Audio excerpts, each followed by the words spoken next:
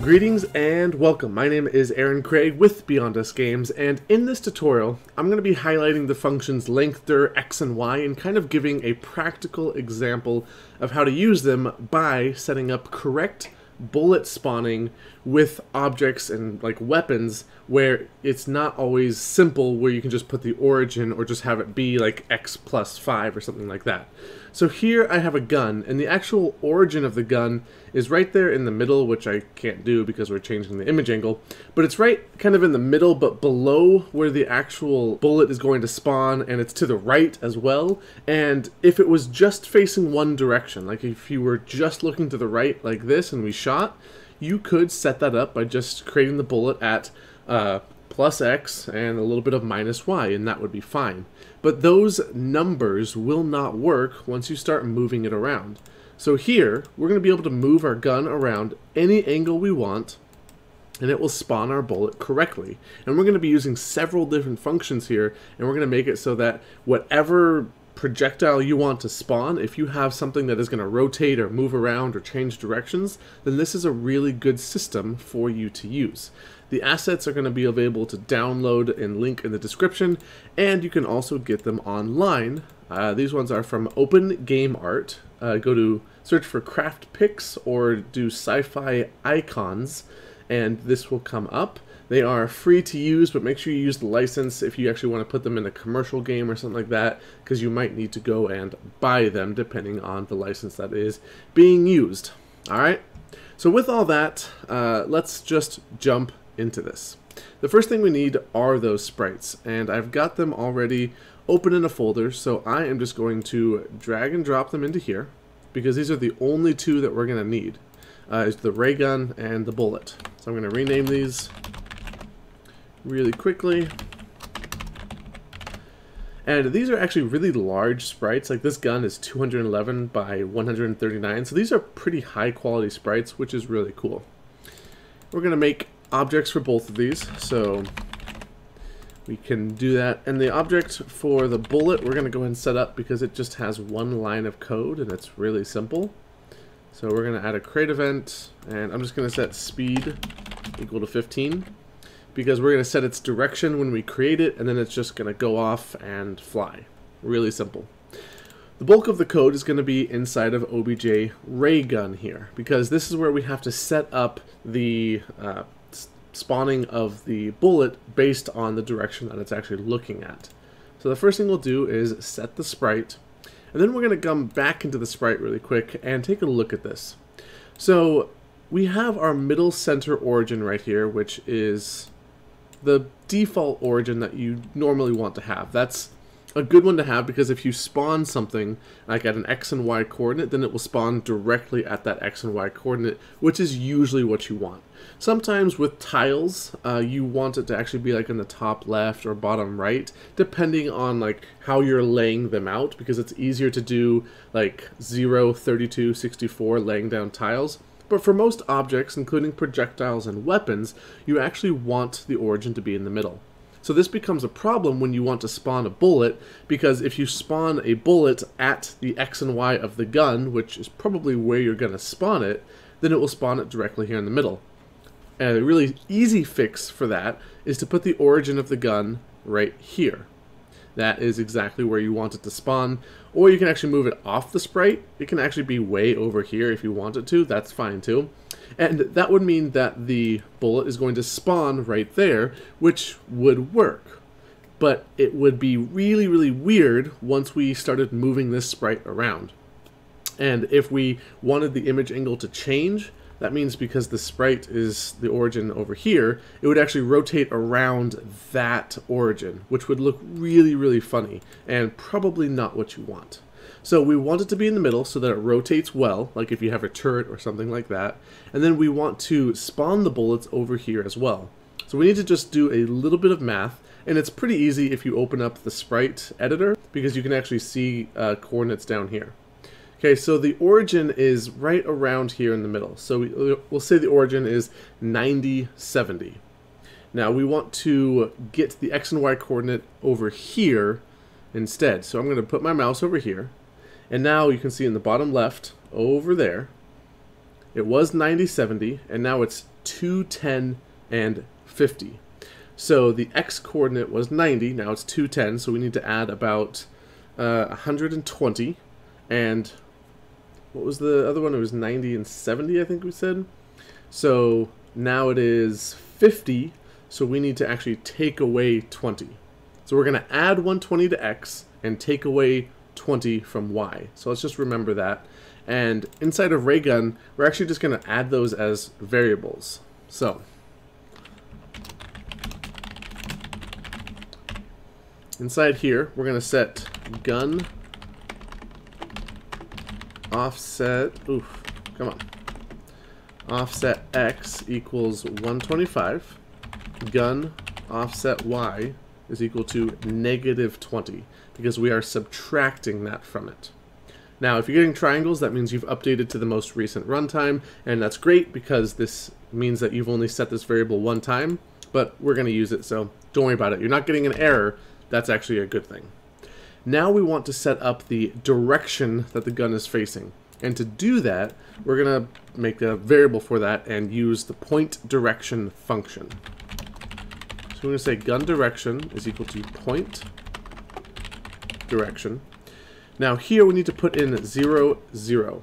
And I have played around with this and I've tried to figure out exactly why we need 0, 0, but I can just tell you that we do. If you put X or Y in here, it's going to be totally off. So just do 0, 0, and if you understand why we need to do that, let me know. Otherwise, it'll be a mystery forever.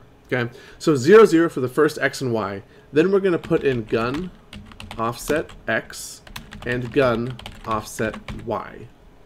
So this is going to be the direction that our gun is actually facing here.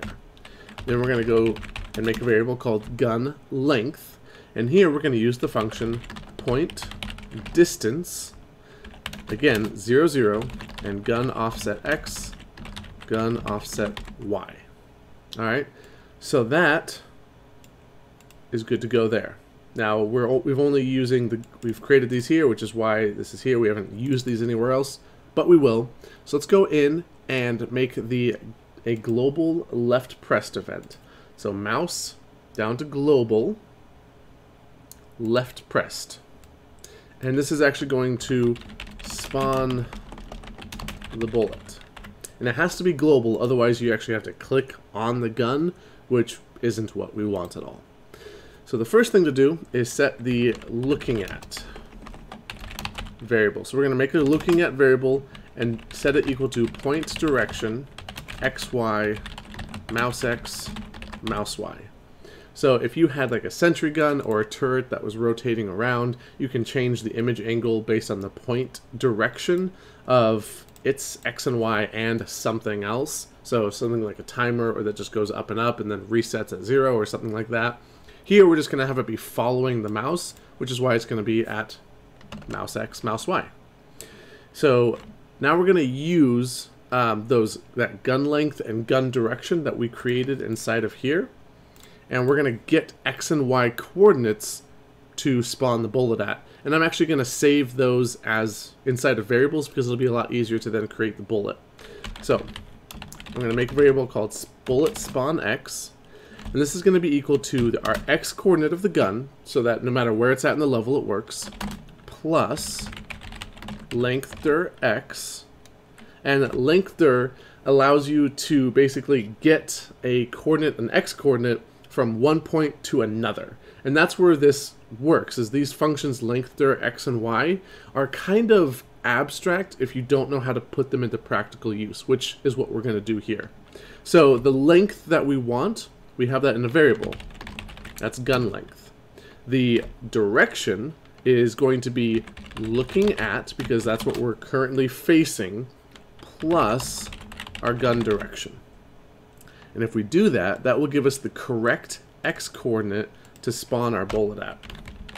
We'll do the same thing for y. So bullet spawn y, y plus lengthdir, and this time lengthdir y. There are two different functions there.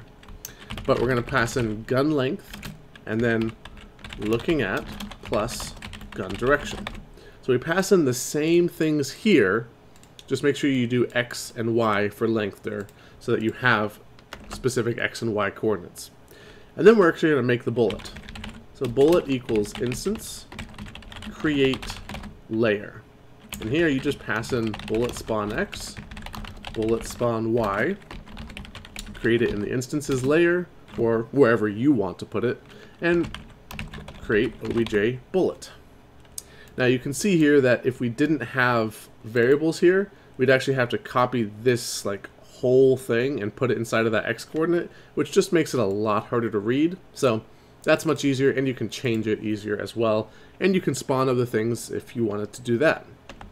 Now we'll set the direction of the bullet so that it flies correctly, it's going to be equal to looking at, and we already set the speed inside of the bullet, so we're all good there.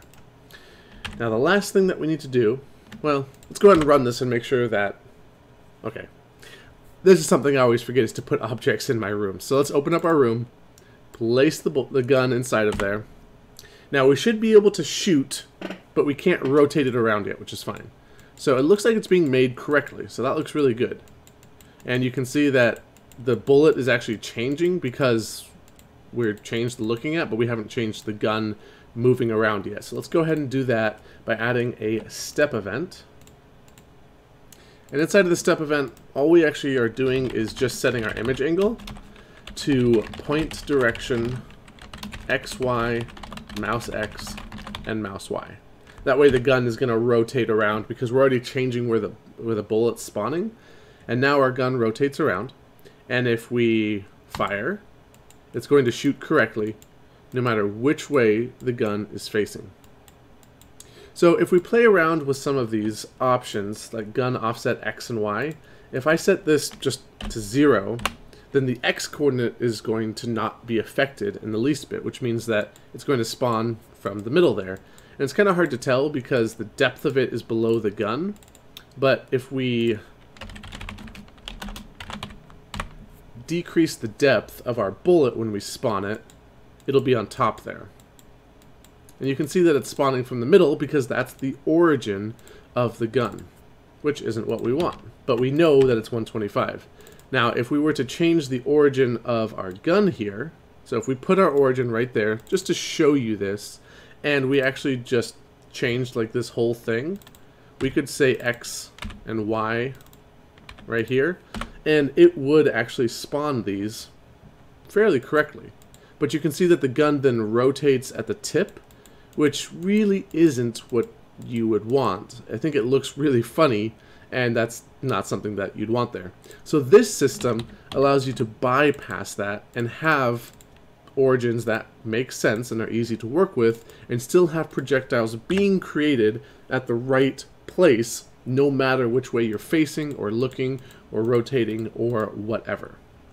So this is really handy in top-down shooters, side-scrollers, just anything that you have a projectile that you need to make from an object, but the object's origin isn't the place where you want to make it. This is what you want to do. So this project will be available to download in the description below. I hope that was helpful. If you have any questions or anything that you'd like to see me cover, definitely let me know. Hit me up on Twitter, leave a description or a comment down below, and I will get back to you. Thanks for joining me, and as always, have fun making great games, and I will talk to you later. Hey there, it's Aaron. I hope you enjoyed that video, and if you did, I encourage you to check out my Patreon. You can join for as little as a dollar a month and get access to our Discord channel and be able to vote on the next series that I tackle. You'll also be able to do one-on-one -on -one training sessions for $10 a month or more if you want more time with me. We can work on whatever it is you're struggling with and I can help you make that awesome game or project. You'll also get access to my courses. Every time I publish a new course on Udemy or Skillshare, every one of my patrons gets that course for free. So even if you support me for just $1 a month, that's a great steal because I'm going to be putting out a lot more courses this year. I want to do YouTube, Udemy, teaching game development full time, and you can help make that happen. So Thank you very much. I hope you'll check out my Patreon and consider supporting me on there. And check out my courses on Udemy and Skillshare if you're wanting more content from me. Have fun making great games, and I'll talk to you later.